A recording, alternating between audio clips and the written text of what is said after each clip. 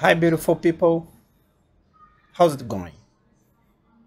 I'm here to help you solve one problem that happened in Eclipse IDE when you try open a project, a Maven project with Eclipse using Java 17 or Java 16 or Java 15 and so the problem that happened is this. Unable to make field private, static final, and a name of class. Um, accessible. Uh, module Java Desktop does not open some class. Okay? How can you solve this? It's simple. You have just to put add one line in eclipse.ini because doing this you will solve this problem. Of course when you add a line you have to open again the eclipse IDE and the project will build again.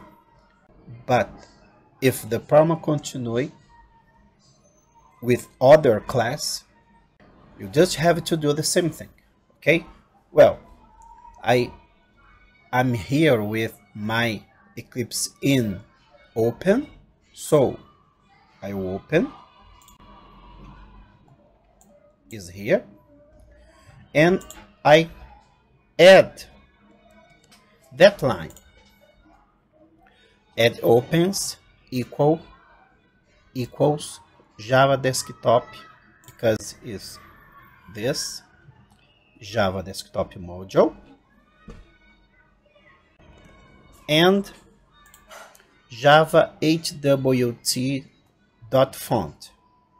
Okay, I will save this and I will reopen my Eclipse.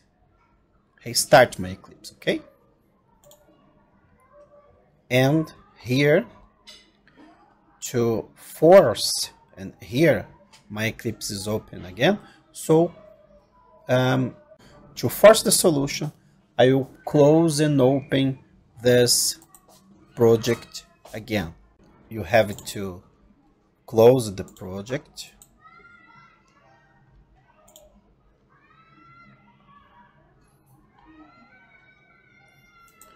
And open again